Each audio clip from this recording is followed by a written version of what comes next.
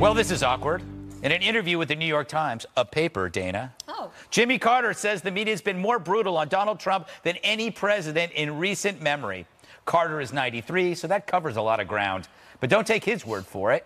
Harvard, no fan of Trump either, analyzed news coverage of his first 100 days and found that the president received unsparing coverage without a single topic where coverage was more good than bad. But you got to give Jimmy credit for saying what will tick off the strident hordes in his party and media. Carter nails the loudest critics for questioning Trump's sanity, which w- will no doubt cause them to question Carter's sanity too. But the side benefit of being an old fogey, you don't care. You can say what you want, which usually means the truth. At 93, it's not like you need any more friends or a job recommendation or an invitation to Brian Stelter's book party. If it upsets the Crybaby News Network, that's life. The point Carter's making that whether you like Trump or not, it's impossible for one man to be everything his haters say he is. Instead, it reflects the irrational emotion on their side, not actual facts or deeds. Even Carter admits Trump's actions may lead to progress on immigration, and he even offered to help him with North Korea. So JC is saying not what his pals want to hear, but what America should hear that Trump may not have been your choice for president, but he's your president. Talk about a reasonable Democrat. He may be the last one left. All right, Juan. It's hard to argue with a progressive icon. You must be crushed. crushed, I tell you. You might not even want to comment at this point. You know, I'm, I'm tempted. I'm tempted because. Give because in to temptation, give Juan. in to temptation, says Jesse. Uh, you know, but I, I think this is really about Jimmy Carter seducing Donald Trump. Oh. Uh, I think that Donald Trump is a guy who needs friends, and Jimmy Carter's a guy who needs a legacy. Because I think there's one guy here who, first of all, let me just say, can you, audience, believe that Greg Gutfeld just gave a monologue praising Jimmy Carter? First time ever. All right. So Yes. that's the point, I think. I think the point is that Jimmy Carter sees himself going back to North Korea because that's that's where he went in 94, I think, when the, Yeah. that nuke deal got negotiated under President Clinton. And of course, that nuke deal didn't hold, but he feels that he can go back in. He can play a role here in which the entire world, I think he might get a Nobel Peace Prize Mm-hmm. if he was able to calm down that guy. Yeah, you know, and Jesse, you know what else he said? No Russian collusion. Yes, so we have to believe everything Carter says now. It's the first time Carter and I agree on anything. And we have to believe He Harvard, also too. said Obama was a failure, Did he? Yeah. basically, in the Wow. piece that in the Triumvirate Maureen Dowd there. piece. Keep talking, Carter. and you're welcome on Oh, he Waters didn't World vote for Hillary Clinton. anytime now. Um, and Harvard said in the first 100 days, worst coverage ever, historically. And it was 80% negative. If it wasn't for Fox News, it would have been even higher at 90. We were the only ones that had a 50 50. Media Research Center said this summer, president got savaged. 91% negative coverage by the network nightly newscasts. And it's not just the tilt or the slant, it's the commentary. They've called the president of the United States a white supremacist, a bigot, a sexual assaulter, a homophobe. You name it, they can say it. And on the policy front, I can see, you know, you had a tough summer with Charlotte or the failure of Obamacare repeal. That negative coverage is fair. But let's say tax cuts get passed. That's a historic achievement for a Republican president. Will the press cover that favorably, like they would maybe if Obamacare was passed by President Obama, Democratic Congress? Of course not. And that's where the bias lies. So I think at this point, the assumption when the president does anything mm-hmm. is he's either evil, dumb, or he's lying. Yeah, it's hard and to be- that's the truth. You can't be all three, Kimberly. Some people try. I'm They two out of three. I'll figure out which one. Fun for you.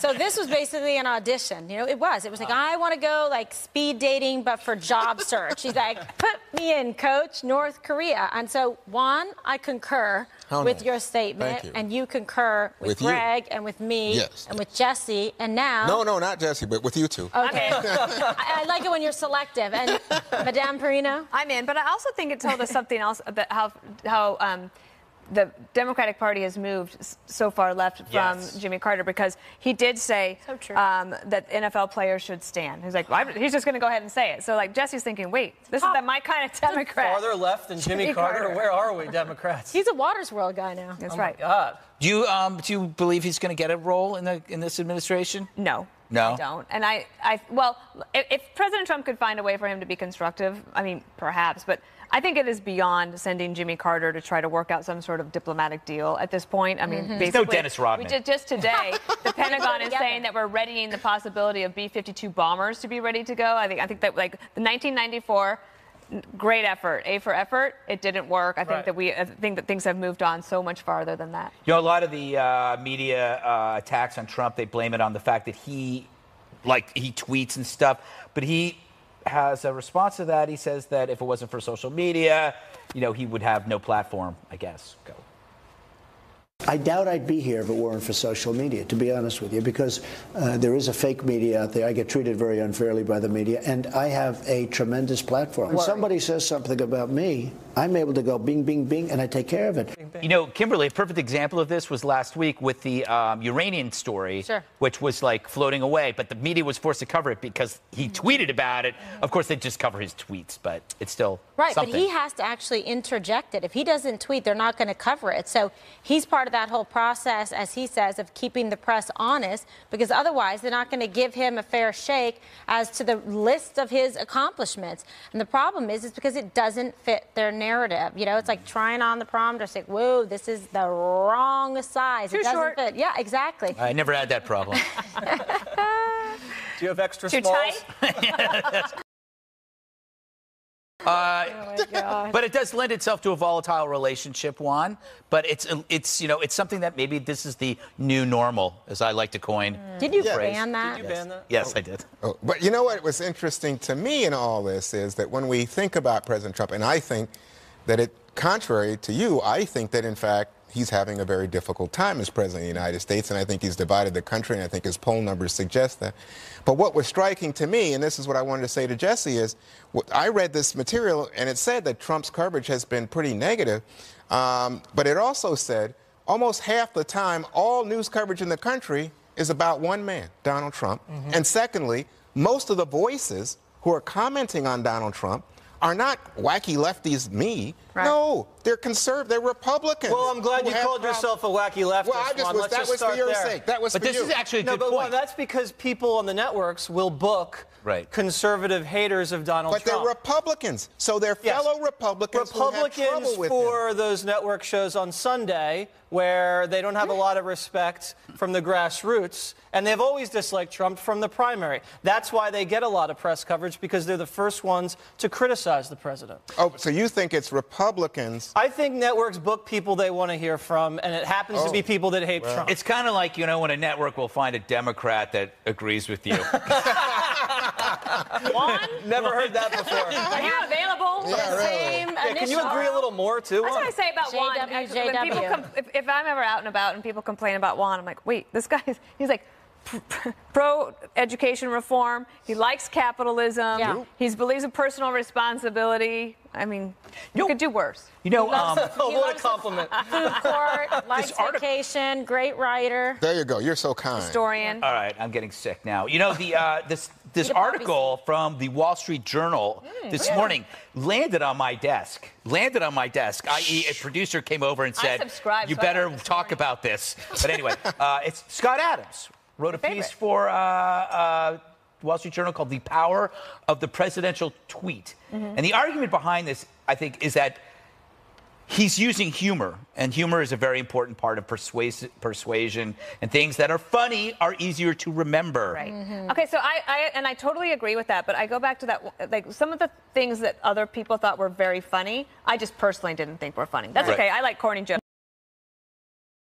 Nicknames Like against name people, calling, like I, yeah. I, I, I didn't think it was funny. I didn't like it. It made, I, but I, I heard it. I saw people cracking up. They loved it. And actually, when he called Kim Jong Un Rocket Man, I, was, I thought that was funny. Yeah. So I A can little Rocket benefit. Man. And then Lil. Well, that he added little. Yeah, little. Jesse loves those I do. names, for example. Scott Adams calls those, Lion It's your kind of, it's kind of, calls them linguistic humor. kill shots. Juvenile. I think are. that's such a linguistic kill phrase. shots Yeah. because when you when you uh, when you label somebody with that, it's hard to unlabel them. So when you say crooked Hillary, it's like it it took over almost as as a uh, Persona a for the right. campaign. And, and it's also like Jimmy Kimmel. Maybe he should have tried to be funnier when he was making his points about um, the Obamacare changes. He's Yeah. no Jon Stewart. He We needs a nickname. I guess, at this point. Little Kimmel. no, we like Jimmy. In case I ever have to sell a book, I do want to go on the I don't think, I I don't be think nice he's ever going to have Kimmel. you I on. want to be nice no matter to how many books. Roger Goodell to go to Super Bowl parties. I mean, I'm a realist, Kimberly. shameless. You know, I think it actually, you know, I was thinking about what Scott Adams said, and I agree about humor. I think it's extremely effective as a tool of persuasion. And in Donald Trump's case, I think if there is one area where I would say Donald Trump is a genius, mm-hmm. it is at this naming of people. Right. But it's not a nice thing. I- I'm not saying, I think it's almost like schoolyard bullying. It- and it can be diminishing. I mean, it's like, oh, you know, you're the short guy, you're the tall guy, you're, in fact, I think that's Little what he said. Marco, Yeah, remember? I mean, and so Low energy Jeb was Yeah. devastating. Yes, but Yeah. it's devastating because of what Greg was can't saying. remove it it. sticks. You can't remove it. It Crooked sticks. Hillary. Yeah, but I don't know that I would say, oh, yes, to any young person. That's a good thing to do. Boy, what a talent to I have. I like when he goes sad. Everybody loves Sad. that. Sad. But Also, he has uh, every once in a while. He, it's not just on Twitter where he's funny. He has these little asides. So even if he's doing a teleprompter speech, there are points where he'll he'll like repeat something like, "Oh, that's really bad," and it's funny. You know what? Before you go, I just want to say what struck me about Jimmy Carter's thing also was the negative relationship he's had with Barack Obama. Mrs. Carter said Michelle Obama did not invite her to a meeting of presidential wives on mental health, and she has been in the forefront of mental health efforts across this country. What a diss. And I thought, wow, that was kind of diss. mean. What a Wow. diss. yeah. You don't know, think so? You just Yeah. don't know how relationships work out, even among allies. Yeah, somebody You know? asked him and said, hey, do you have President Obama's email? And Jimmy Carter's, no. Well, President Obama was famous for not calling any of the other former presidents for any advice when he was in office. I He know didn't need it. He W would Valerie call, Jarrett. and uh, Clinton would call, and then Obama thought he had it all figured out. All right. All right. You know, you know what? He had sweet Val. I figured out that we have to go to a break. That's called. It's a nice, smooth little transition there. I That's learned in what- uh, that- really broadcast good, television. really There's good. your friend. Where? Oh, what do you mean? Go. Okay. Frederica, Congresswoman Frederica Wilson demands an apology for General John Kelly after calling him a puppet and labeling herself a rock star. Coming up.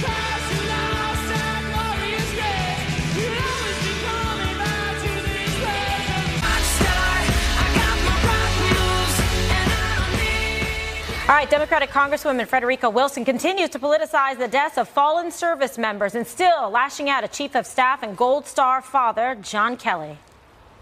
John Kelly um, is almost, I guess you could say he, he was a puppet of the president. And what he was trying to do was divert the attention away from the president onto me. And he basically just lied on me. Not only does he owe me an apology, but he owes an apology to the American people because when he lied on me, he lied to them. And I don't think that's fair, and I, I think it's wrong. Mm-hmm.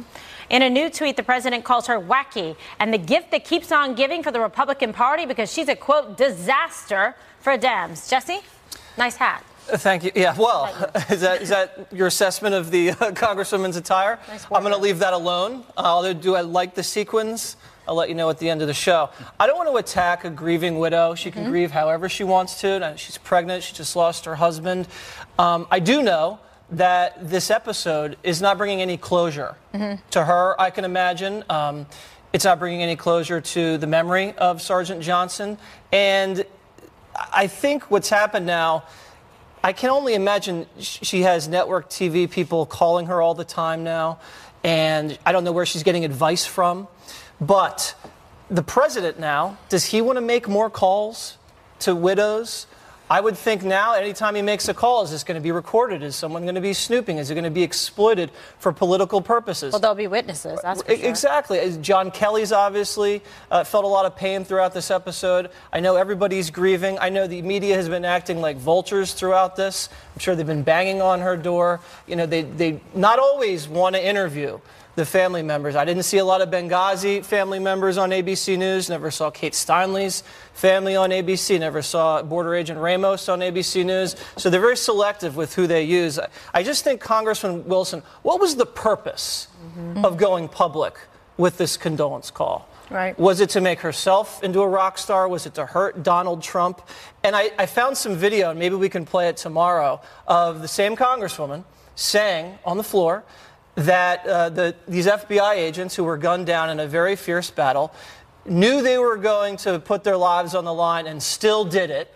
And she had trouble pronouncing the name of one of the FBI agents. So, you know, for her to go around and turn around and say that Donald Trump did the same thing, I think is completely unfair. I wish she also tweeted. pulled that for today. Yeah, show. we can pull it. I didn't want to pull it during your segment because I know how Kimberly rolls, but um, I'm very afraid of her. But she also tweeted something also very uh, discouraging. She said, Niger is President Donald Trump's Benghazi. He needs to own it.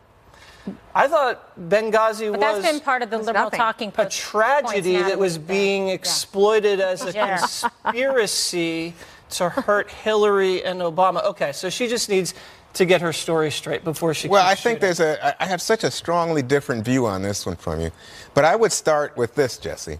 First and foremost, well, Niger is. Let me just say, you're right about this, Kimberly. It's a serious topic right now in Washington. People don't know what happened in Niger, and a lot of people are thinking, "What did? Were we there?" Remember last week you you asked, I think Jennifer Griffin. A lot of people don't know we're there. Why are we there? What's going on? How long have we been there? Yes. And there are questions about what happened to David Johnson's body. Yes. Why was it left there, et cetera? All of these questions. So that's an ongoing issue. That's a real news story. I want to find those answers too. Okay, fine. So the second thing to say, though, and this is about Frederica Wilson, the congresswoman from Florida, Donald Trump, Chief of Staff Kelly, is that Kelly was wrong on two scores. First of all, clearly the president did say that your husband knew what he was getting into, and it did cause the widow and the mother to get upset and cry. That's just not good.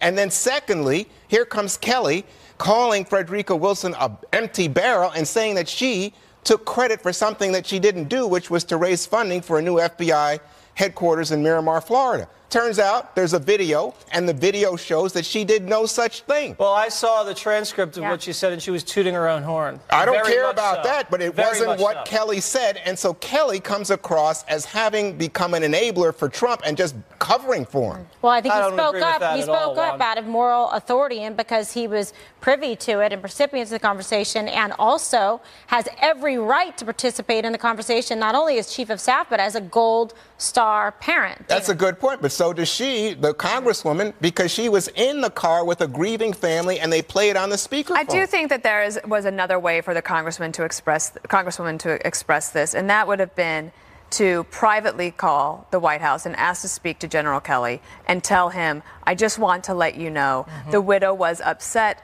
when the president said this, and I think it would be good for you to tell the president that so that in the future he has more information because he's going to have to make more of these calls and it's an those are important phone calls to grieving people. That, that is we wouldn't be talking about any of this Right. if, if there had been some judgment on her not to decide to go public immediately. If that call was not returned or not taken then maybe you go decide to go to the public but there's another way to do it. Plus remember that these children are going to grow up and be able to read all of this Yes. okay so like let's just stop it Oh, I love when you do that. Okay, Greg. I don't really want to talk about this. I feel Next, like we're a new pick- twist. Okay. Oh, go ahead. No, I'm good. I'm kidding. No, actually, I am good. I'm tired of picking at this scab. You know, uh, we should, as a show, we can't because our producers pick these stories, but we should resist the inclination to pick a side all the time. In a, in a, in a, in- because when you weigh down one side with an opinion, then the other side needs to create an opposite weight. So that, like, if I say this and I go this, and then Juan will say this, and then I will say this, or then Jesse, and then Juan, and it, this thing just never ends, even though we hate doing it, because we actually do hate doing this. We don't like this story. It's, it's no one, no one is coming out of this looking very good, and it's sad that we're having this conversation. And believe me, there are other stories out there, a lot of other stories out there that we could do. But anyway, I also think that Jesse made a really good point about this idea of Trump's Benghazi. Um, first of all, it was an ambush versus a terror attack, and we're not blaming the ambush on a movie. We're blaming it Plus on video, ISIS. right? But this is the first time that, Jesse, as Jesse points out, that they're actually admitting Benghazi exists Oh, yeah. and that it actually matters. But, they, it, but it it. reveals that they're seeing Niger as a shameless political albatross to hang around Trump's neck Mm-hmm. rather than trying to figure out what happened to four slain heroes. With Benghazi, it was a terror attack that was blamed Mm-hmm. on a video.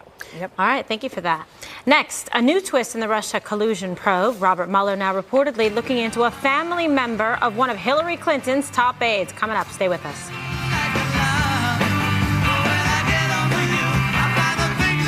So counsel Robert Mueller isn't just looking into the Trump campaign's ties to Russia. Guess what? He's now reportedly investigating the brother of Hillary Clinton's former campaign chair, John Podesta. Tony Podesta and his Democratic lobbying firm are now in the crosshairs following an inquiry into the finances of former Trump campaign chair Paul Manafort. There's a federal criminal inquiry now into whether Podesta's firm violated the Foreign Agents Registration Act. Meanwhile, the president just addressed whether he's been advised to meet with Mueller himself in the Russian probe. I don't know. I mean, I nobody's asked me to do that.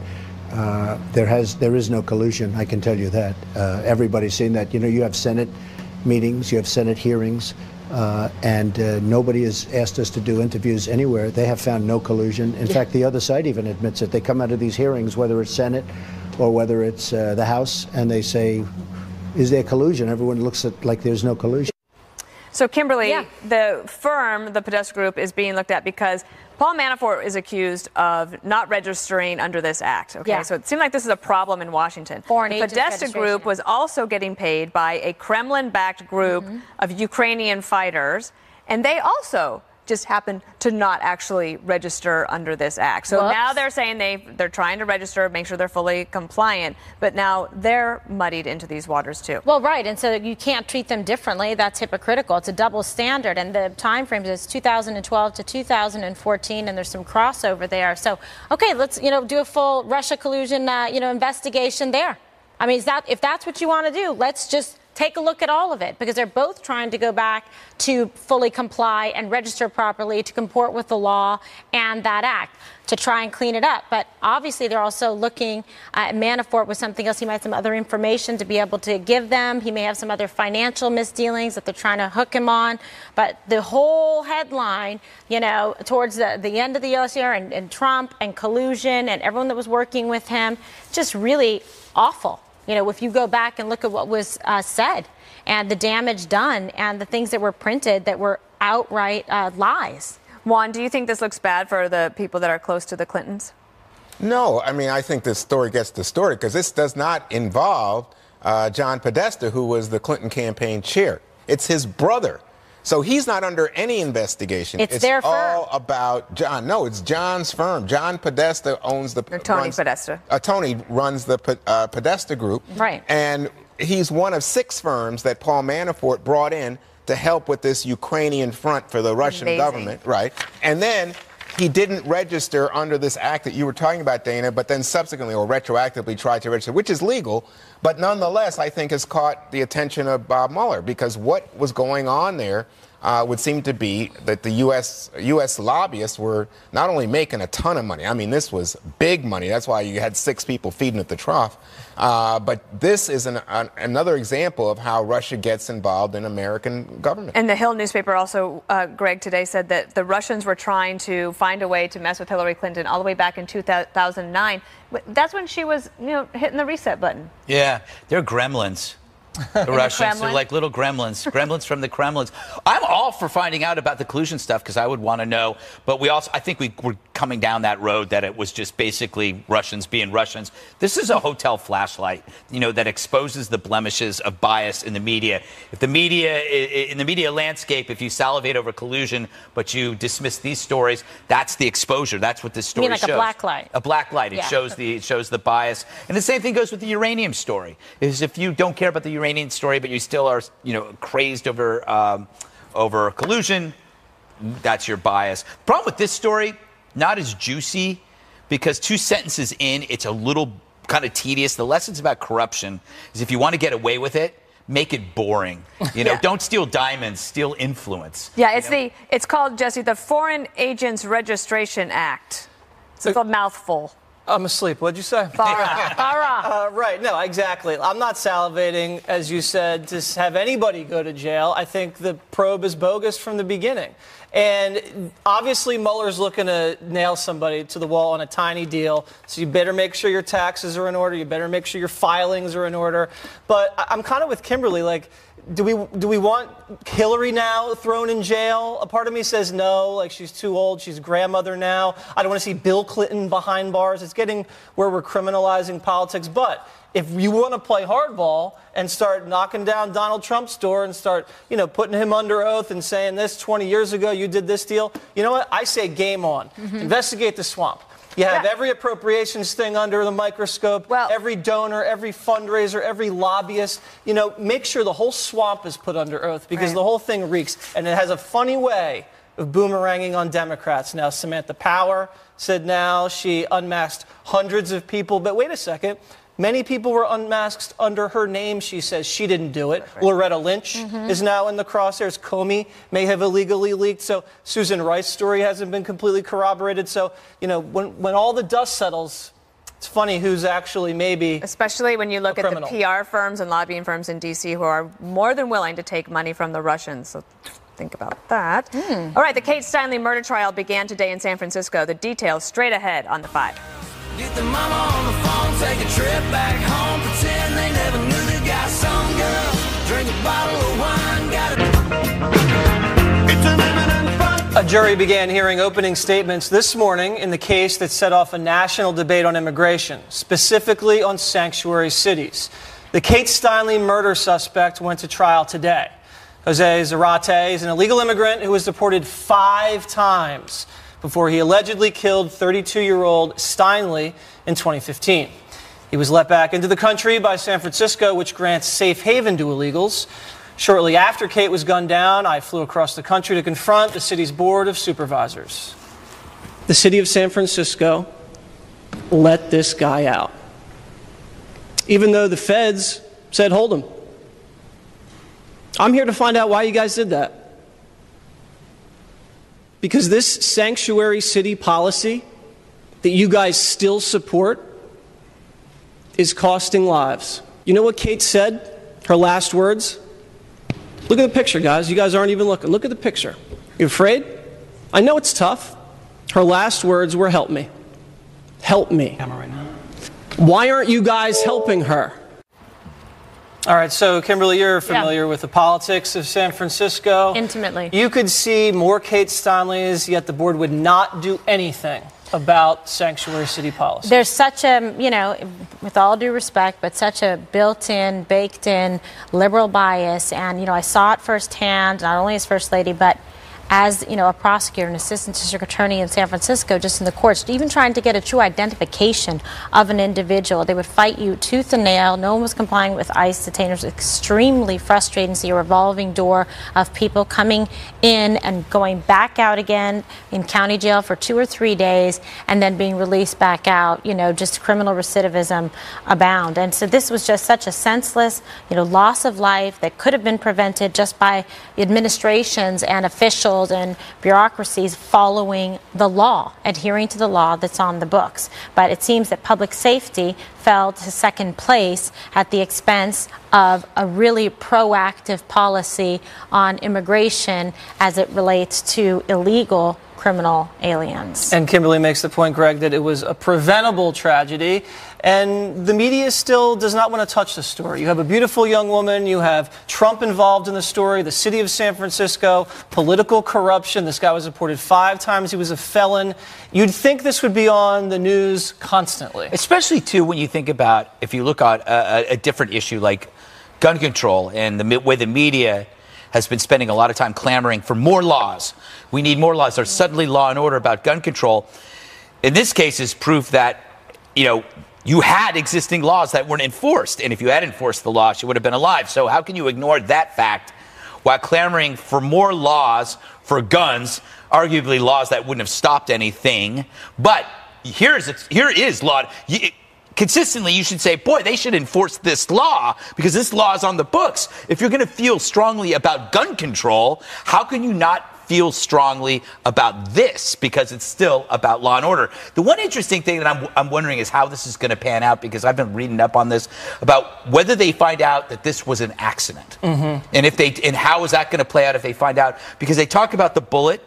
The bullet has kind of a dent in it, which means that it was ricocheted.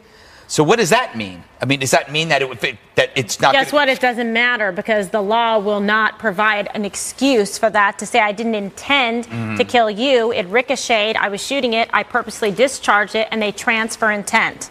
Right, because I think this was a Right. weapon that was stolen Correct. from Yeah. a, a law enforcement officer's car, and this illegal But guess what the judge said? The judge says that is immaterial as to where the gun originally came from. It's just how the gun was used. What was its intended purchase? And the other purpose, part, and the other part the judge says is you can't consider immigration status. That's, that's not the issue here. The issue is whether or not he's charged with second-degree murder, Jesse, Good right? luck with that. And then the, he's, his lawyers are saying this was an accident. The gun was stolen from a U.S. Bureau of Land Management agent and from his car. We don't know how uh, Zarate got the gun, but now the focus is on so was this involuntary manslaughter or an accident, in which case he should be acquitted?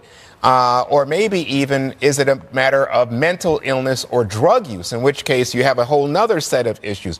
But to me, you guys are complaining about so- so-called liberal media. I think mainstream media, let's say, let's put it that way, mainstream media not covering. And I think, boy, as I recall, it was conservative media attacking immigrants, especially illegal immigrants, who made this a cause celeb because they said, well, we're going to hold this up and we're going to attack those immigrants. And I just don't see it as that. We're not attacking immigrants, Juan. We're saying that the city of San Attacking Francisco criminals. should never have allowed him Criminals. in the city because he had five felonies. I think should the have been federal deported, government but sent they, him there. Excuse me. The federal government had arrested him. He had served some time. They then sent him to, Involving to He was San deported Francisco. five times, Right. and They he kept getting him- arrested in San Francisco, and they never told ICE about him. They sent him back to San Francisco on a marijuana charge, as I understand. now no, he had numerous charges, state. one of which was marijuana. Yeah. He also had harder narcotics problems. I would, the only thing I would add, is so there's um, there, there's six men and six women in the jury, and it's interesting to me that they this is how juries usually end up. It's just a range of people from a flight attendant, software engineer, a nurse, a marketing accountant, and a health economist. So these people, it's a jury of his peers. They will decide his fate, the guilty or innocent, and then the, I guess the judge probably decides the sentencing. Kimberly, Yeah. I'll It's not his. defer pri- to you. That, that is not his peers. That's the funny thing about. Th- th- is that a jury of his that's how peers? that, I mean, that's how our, our system is. It's- They say the trial will expect uh, last four to six weeks. peers would be illegal aliens. Should've They been would be right. That's change right. of. You can find plenty of those in San Francisco. Oh wait, that's going to be their next point. Yeah, They're exactly. like, Yeah. gonna file a lawsuit that that's not their peers. Yeah, that's true. I wouldn't They be will. surprised. They'll appeal it on that and lack of uh, change of venue, that it was improper. He wasn't able to get a fair trial due to the media coverage there. All right. Wait for it. On a lighter note, it is the biggest concert of the year. The Super Bowl 52 halftime show headliner has been selected. The reveal and our thoughts up next. 24 karat magic in the air. But you dance, dance, dance. Ain't nobody leaving, so, so keep dancing. Cool song. So the rumors are true. Justin Timberlake confirming he will headline this year's halftime at Super Bowl 52 in a very creative announcement alongside his pal, Jimmy Fallon. Interesting.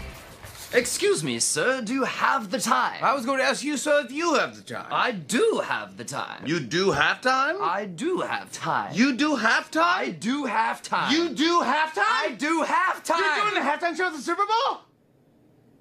You do halftime!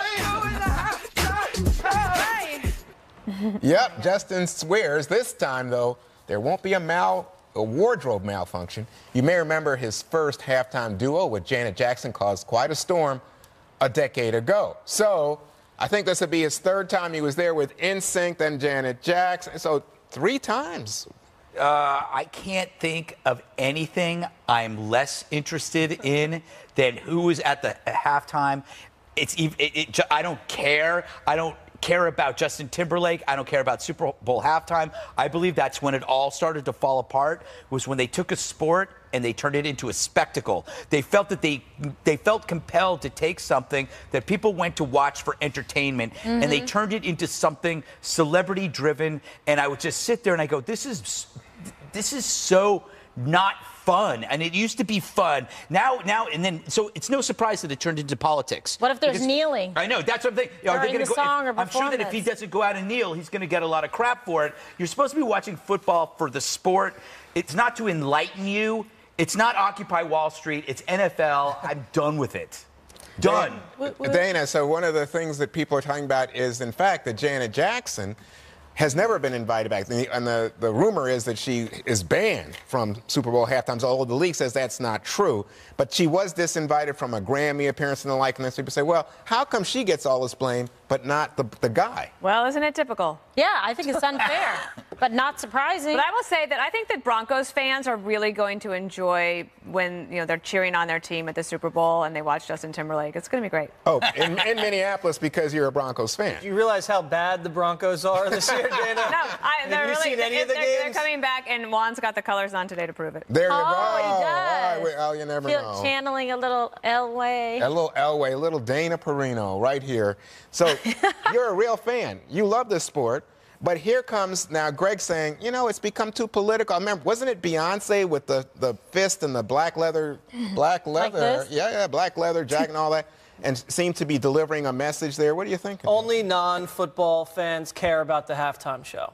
That's when all the people get up and they get excited. They're at their The people that actually don't watch football, they are there for the commercials and for the halftime show. I could I could care less about the halftime show. I'm like with the Greg with it. I'm going to be watching my Eagles um, at the Super Bowl, so I'm probably going to be taking a bathroom break. Probably be restocking on my snacks Wings, and wings. Probably getting and beaten up. sliders. Probably no, no. Excuse so, me, excuse me. You want reality? Reality is your children. I Oh think wait, you you're a. Redskins fan, right? I, I'm a Washington football team fan. Oh, you don't even say the name of your own team, Juan. That- Where have you believe me. been? We have a game tonight. You want to play us a little wager? No, because It's I at think, home, I think too, that, baby. Let's I think, go. I think your Eagles should win. Let me just say Oh, that. good. I'll take that. Yeah. All right, Kimberly. Yeah, yeah. A moment Come ago, you again. said Yeah. that Janet Jackson, you think, came out on the bad end of this deal, and even Yes. Timberlake says she got 90% of the blame. Right. He only got 10%. Um, listen, we can do a dramatic reenactment here, um, and I'll show you that No, he's I think- equally I as think we'll avoid this. He was the intervening. no, but it's true. Right. You know, the two of them did the performance together. They both knew, but yet he's back again. Very unfair. Sad! Exclamation point. Go. Yeah. All right. One more thing up next.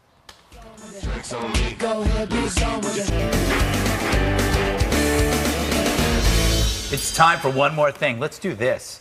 All right. Greg's Shoppers News. You know, there's nothing better than shopping for pigs and pugs. As you'll see here, a woman was shopping in Florida. Uh, she was stocking up on her pork. And she also had, uh, over here, she found a pug in aisle nine, which is pugs. Aisle eight is pigs. Aisle nine is pugs. How did she have room to buy anything? The whole thing's full. I don't know. And then she realized she forgot her purse and just left them there. Maybe they ate it. Yes. Anyway, That was cute. it was Juan. Oh, okay. I was, I was fascinated. I had so many questions about that. Anyway, I wanted to give a shout out to B&C Magazine. That's the broadcasting and cable news people.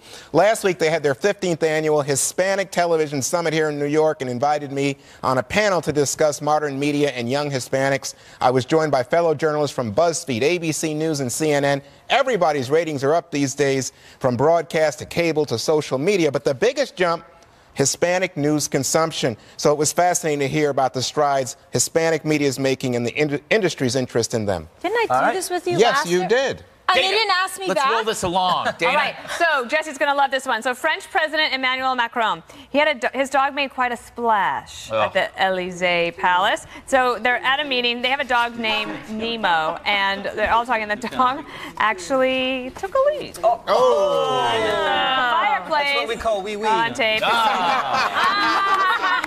That was great. All right, end it Nicely there. done. He's a he's a Nicely done. rescue. They they rescued him in August, and so they were still working on the palace training. Is Rescue what used to be a pound dog? Yes. Okay. Something like that. Uh, Kimberly. Okay, thank you so much. Okay, this is You're super, welcome. super, super cute. So, nine-year-old sends pre- the president uh, three dollars and gets a letter back in return. Elijah was very concerned, Davies uh, from Tennessee, because he heard from his parents that President Trump was only going to take a salary of one dollar. so he's like, "How is this going to be?" Take a listen. How is he going to eat or drink? Or, you know, pay if he needs to pay for um, his bill, water bill or anything? Oh my God, the cutest thing ever. So back in January, Elijah sent uh, him the three bucks. He got the letter back. He was very excited, including the three dollars. Oh my God, gave it back to, him, to make a difference in his community and to think big and dream even bigger. So he reinvested. My friend runs a correspondence office. Oh wow, Does a good job. Wow, I name love That's a dropper. good job. I didn't name her. I didn't drop her name. Well, oh, you're really important. Drop it like it's I hot. have people. I know people that do important stuff too. Jesse. what? Jesse's important. We'll see. um, so, all of the five former presidents living were raising money for the hurricane relief over the weekend, and there they were. They raised, I think, over $33 million, which is quite incredible. But there was a funny moment during President Clinton's speech between W and Obama. Roll it. It can be a new beginning if we just do what we ought to do. I mean, something's not right. So there goes W cracking a joke. Obama's laughing, and he's looking at to see if Obama's up. There he is, peeking. Did he find it funny? Yes, he did. There's something on. And then that Bill's Obama's back. trying not That's to laugh. it is. There's something on. kick, kick me sign? Yeah, exactly. Well, I was yes. Or We'll just leave it at that. Set your DVRs. Never miss an episode of the Five. Special report is up next. Rawr.